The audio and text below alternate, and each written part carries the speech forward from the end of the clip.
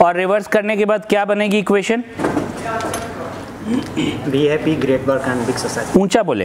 Be happy great success great work और क्यों क्यों हैप्पी होने से ग्रेट वर्क करने में आसानी होगी?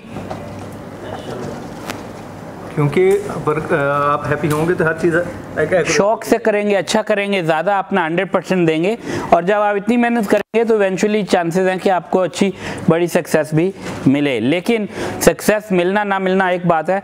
तो आप अलोंग द वे खुशी खुशी से ये सब कर रहे होंगे।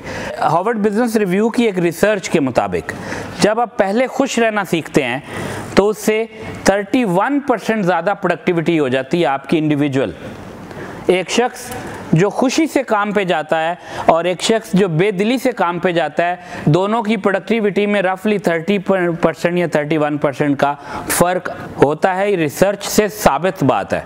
अगर आप सेल्स में हैं और आप खुशी से सेल्स में हैं तो 37 परसेंट चांसेस हैं कि आप ज़्यादा सेल कर पाएँ। और एक आदमी जो खुशी से इस प्रोफेशन में नहीं है और खुश नहीं है काम करते हुए सेल्स का, वो कभी भी 37 परसेंट ज़्यादा सेल्स नहीं कर पाएगा। जो शख्स खुशी से काम पे जाता है, वो तीन गुना ज़्यादा क्रिएटिविटी आ सकती है उसके काम में। और जो नहीं जाता खुशी से, अब आप बताओ, आप कहते हो यार सैलरी नहीं बढ़ी तो हम नहीं, हम कैसे खुश हों? अच्छा अगर आप खुश नहीं होंगे तो चांसेस हैं सैलरी भी ना बढ़े।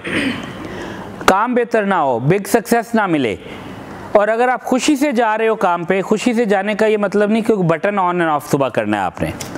ये एटीट्यूड शिफ्ट है। एटीट्यूड के अंदर चेंजेस करनी पड़ेंगी हमें।